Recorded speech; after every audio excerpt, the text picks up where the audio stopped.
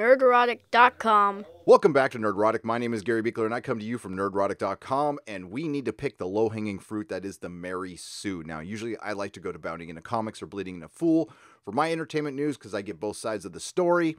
But we need to talk about the Mary Sue article in particular because it really exposes what is going on in our entertainment these days. Why Brie Larson has been thrusted upon us when they could have chosen any other actress in the world who would have been better for that role than Brie Larson. Well, they chose Brie Larson because she's an activist. And the reason they've done this is to satisfy websites like the Mary Sue, who have a lot of social currency with Disney. Disney and Marvel don't listen to the fans, but they listen to the Mary Sue and the IO9s of the world. And I don't know who even reads this garbage anymore, but I will read this to you. I hope you can sit through it because it's pretty damn cringe and see if you can catch all the hatred and bigotry that is in it. And you got to ask yourself the question why does Disney, why does Marvel listen to these people? Why are you shaping your universe to satisfy people who don't watch your stuff or don't buy your stuff?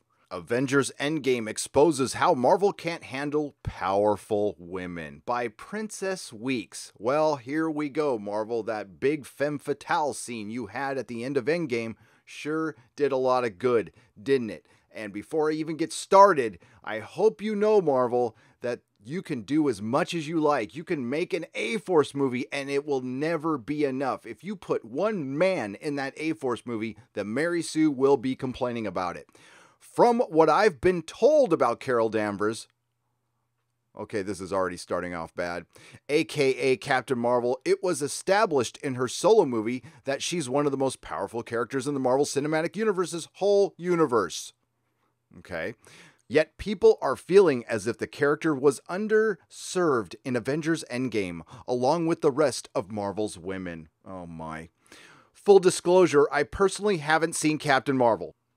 And part of that delay has been that despite all the overall importance of the movie in terms of there finally being a female standalone superheroine movie. So Princess Weeks must have been born yesterday because the last time I checked, not that they're the greatest movies in the world, I saw a Supergirl movie in the 80s that starred Helen Slater. Of course, there's Catwoman, there's Tank Girl, there's Elektra, which was the first female led Marvel superhero film. It doesn't matter if it wasn't good or not, it existed and it was a hell of a lot better than Captain Marvel. I would watch Elektra 10 times before I would watch Captain Marvel. Picking up that sentence is that I am A, not personally interested in the character, well, we can agree on that, and B, not seeing how another white, cis, unconfirmed queer heroine is moving the representation needle in any way.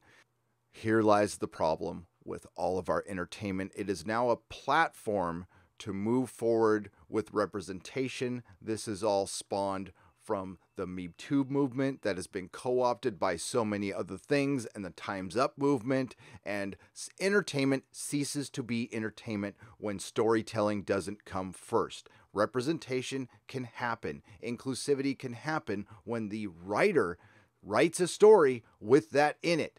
But the story has to come first. This is just entertainment. You don't need to see yourself in everything. You don't need to be so effing self obsessed that you need to pretend you're every hero on the screen? Do you stare at yourself in the mirror all day when you're not writing trash articles for the Mary Sue? I don't identify with Buffy the Vampire Slayer in any way, shape, or form, but I still enjoy it. I'm not going to set my head on fire because I want to be like Ghost Rider feel like I picked the wrong century to quit cocaine. I'm not discounting the meaning of it for fans, and I know plenty of women of color who love Carol and all the queer hype around her hair and subtext.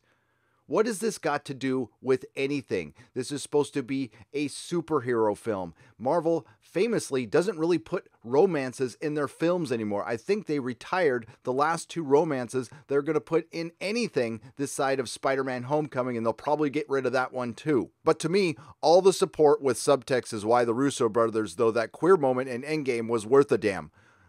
How, did anybody edit this? That being said, as a critic and somebody who didn't watch Captain Marvel, and someone who cares about representation and diversity who still didn't watch Captain Marvel, how I feel about Carol, who still didn't watch Captain Marvel, doesn't matter when looking at her treatment exposes the issue within the MCU. Watching Carol in Endgame, I understood why they put her off world. It's a lazy writing technique. Well, not as lazy as this article. And considering that the end credit scene in Infinity War was all about summoning her, I don't think it does justice to the hype around her. I'm sorry, what hype? Uh, I need to remind everybody in the two screenings I saw, there was absolutely zero cheering for Captain Marvel, but there was some jeers. However, as people said post Captain Marvel actually coming out, and in this article we do need to clarify the film coming out, having Carol there sort of leaves no room for the other heroes to be anything in a movie that's supposed to send off many of them. Yes, right, it is their movie. It's a hole they dug. It's a hole they dug? putting Robert Downey Jr., Chris Evans, Chris Hemsworth all together with Scarlett Johansson and Jeremy Renner, the original Avengers, and Mark Ruffalo, I'm sorry, in their final movie all together is a hole they dug. Uh, I'm sorry, how much did it make? A couple billion dollars? I don't think they see it as much of a hole. The hole they have dug is listening to people like you. The hole they have dug is what we will be getting in the future the FemCU. But there it is. It shows just how white and male the earlier phases were and how much better they need to be. How much better they need to be because those were so terrible. The culmination of a decade's worth of pretty damn good storytelling leading to a film that's going to make a couple of billion dollars in a nanosecond. How terrible! Or is it just your worldview, your bigoted worldview? Still, at least Carol is gone. Ah, that would have been great if the sentence just ended right there.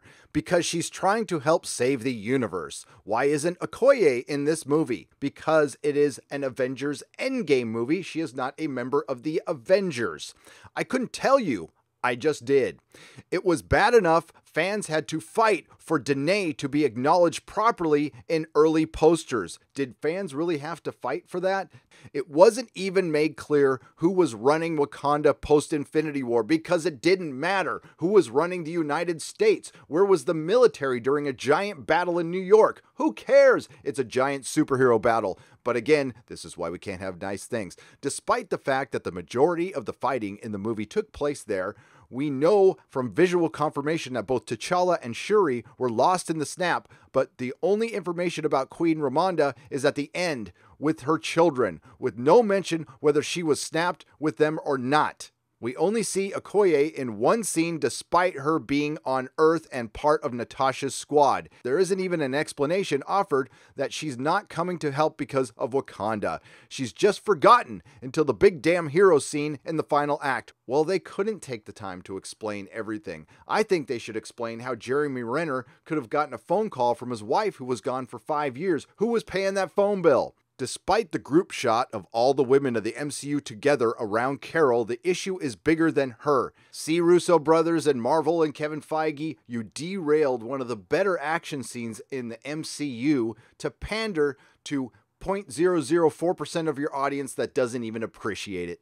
It has to do with the fact that they think these moments make up for the lack of diversity in the universe overall. There it is.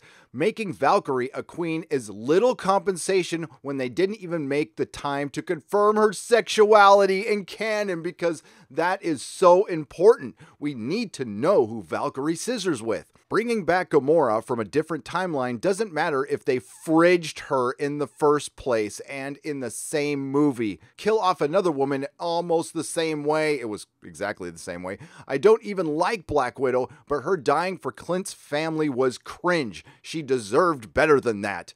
Really?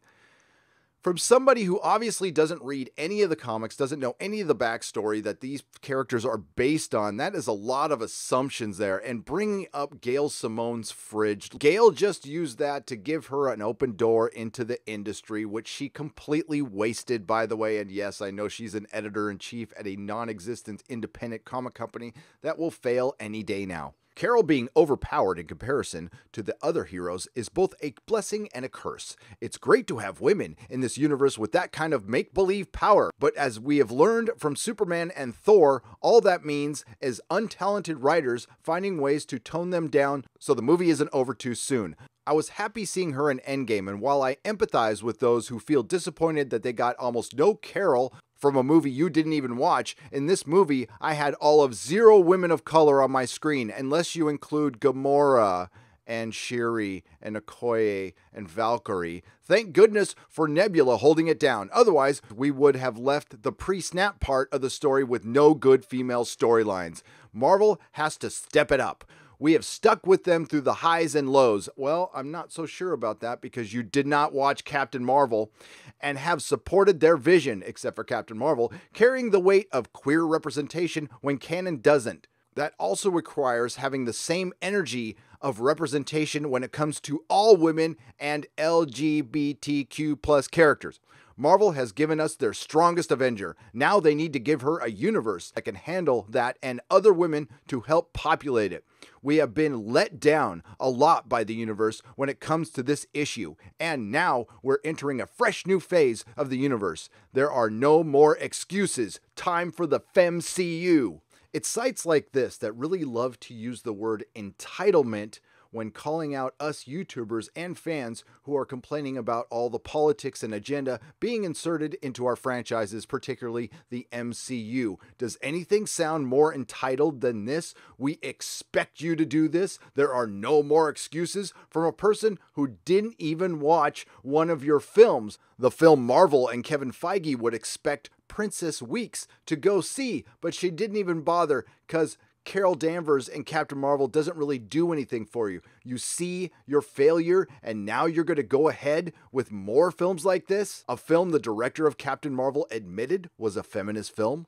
With the money Captain Marvel made, and it just made a little bit more now that they forced it on some theaters prior to Avengers Endgame, please see my video on this it looks like Marvel feels emboldened to go ahead with being a woke MCU. And I know a lot of you are worried this is going to happen. I know some of you are taking a wait and see. Well, I'm here to tell you it's already happened. The MCU has already gone woke. It started a little bit with the Wasp and Ant Man, it creeped in a little bit with Spider Man Homecoming, and it arrived with Captain Marvel. Do you think the access media pressure is going to end there? No, there was another article on this very same subject from IO9. So Disney and Marvel feel caught in the middle. Well, they have no problem not listening to us. They should not listen to them as well and just try to make some good stories. But unfortunately, we know what we're going to get. That's why we have been making videos. That's why we have been calling this crap out as much as we can. And unfortunately, it looks like we will be chronicling the MCU's demise when it doesn't need to do this but maybe we are on the verge of another great wave of independent creators because the franchises we love Star Trek, Star Wars, Marvel Comics, DC Comics, the MCU, Game of Thrones are crashing around us, and it's time to fill the void, to fill the need of just good, solid, fun, thrilling entertainment. Despite its flaws, Endgame was a good ending to the MCU, and I'm grateful we got the 11 years we did. Everybody, have a great day. Please like, share, and subscribe, and may the small folks sing songs of your greatness.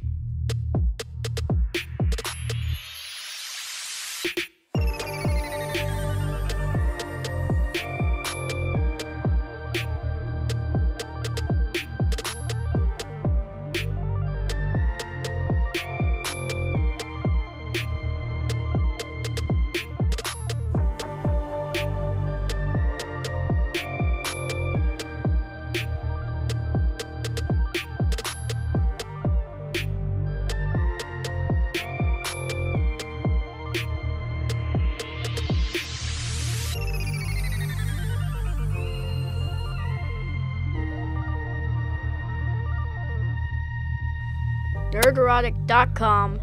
Please subscribe.